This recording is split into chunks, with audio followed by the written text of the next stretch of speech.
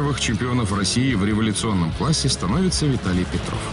Он еще появится в нашем фильме, правда, в иной ипостаси. Спустя четыре сезона после дебюта состязания на «Лада Революшн» прекратились. Одни считают, что из-за сырости машин, другие называют организационные причины, третьи – финансовые. Как бы там ни было, российский прототип – это уже история. Хотя и с продолжением. Сейчас на «АвтоВАЗе» создается спорткар Revolution 3. Двухместное купе класса Гран Туризмо планируется выкатить на ходовые испытания в 2011 году. Попыткой запустить «Ладу» на орбиту международного автоспорта стал проект Priora WTCC. Эти четыре буквы обозначают мировой чемпионат по кольцевым автогонкам среди серийных моделей. На экране фрагмент итальянского этапа 2009 года. Приоры, они красного цвета, едут вполне уверенно. С этим не желают мириться более именитые соперники. Самую быструю из стройки наших машин убирают с трека силовым приемом. Тем не менее, одна из приор российской команды приходит к финишу шестой. Неплохо для новичков чемпионата мира. Что будет дальше с кольцевыми приорами, пока неизвестно. В сезоне 2010 года они не выезжали на треке WTCC. А вот спортивные «Калины» чувствуют себя достаточно уверенно.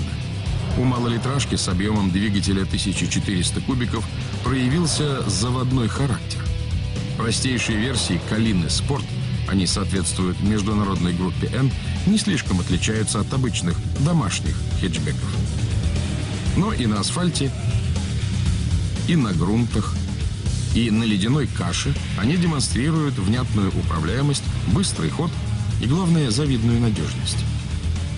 Есть калины и посерьезнее. Например, вот это, подготовленное для жесткой борьбы на трассах ралли-кросса. Видите, даже всю внешнюю светотехнику с машины убрали. Она все равно не будет видна под толстым слоем грязи. Спортивные «Лады» давно обосновались там, где кончается асфальт. Прежде всего это относилось к полноприводным «Нивам». Кадры начала 80-х годов.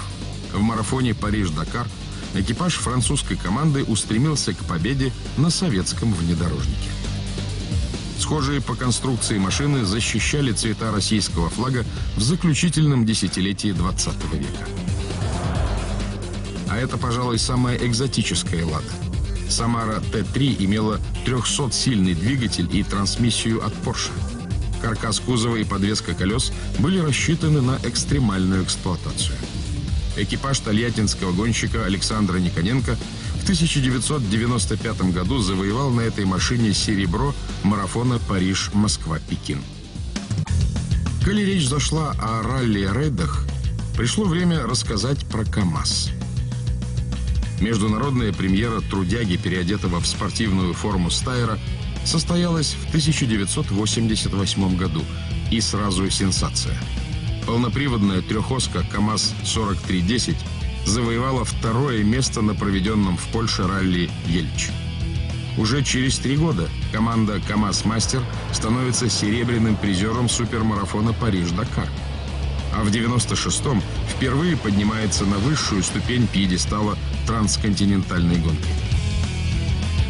На сегодняшний день команде из набережных Челнов принадлежат 8 высших дакаровских наград – три золота Кубка мира и целая коллекция призов различных международных ралли-рейдов. Успех команды напрямую зависит от профессиональной работы механиков. Экипаж машины технического сопровождения, спортсмены ласково называют ее «хозяйкой», должен заранее прибыть на промежуточный финиш и быть готовым к ремонту любой сложности – кстати, в огромном фургоне, кроме запчастей и инструментов, есть еще спальные места, мини-столовая и вполне приличный санузел.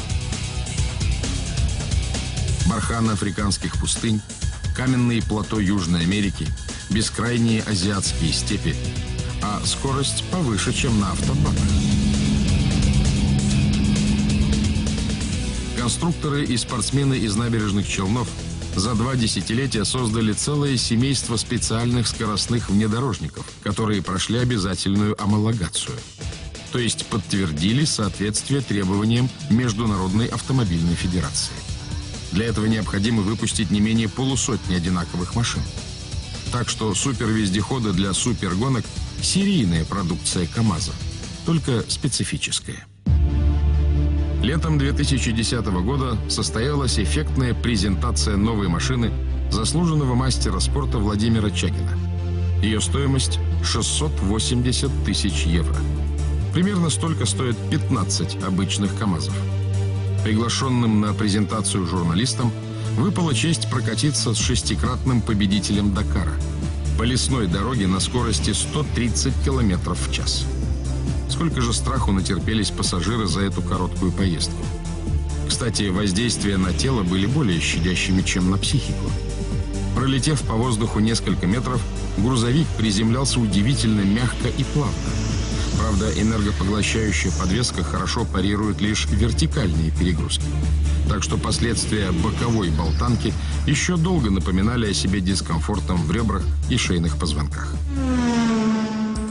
Автомобиль для ралли-рейдов КАМАЗ-4326 VK. Год постройки 2010. Мощность двигателя 900 лошадиных сил.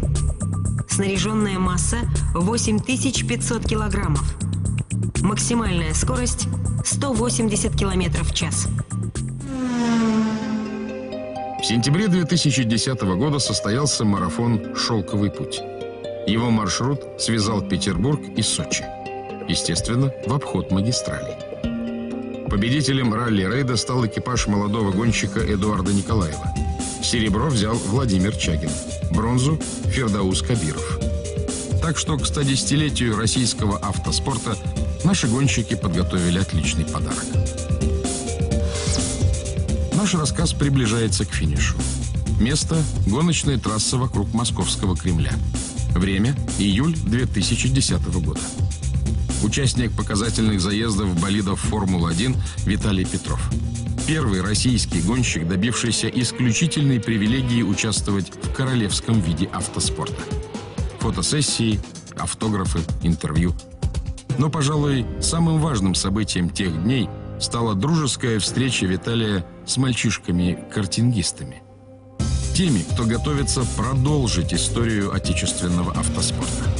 Теми, кто делает самые первые и робкие шаги в погоне за скоростью. И очень хочется верить, что эти шаги вскоре станут профессиональными, решительными, быстрыми. Ветер за кабиной уносится с пылью Слева поворот, осторожней шофер Как-нибудь дотянет последние мили. Твой надежный друг и товарищ мотор.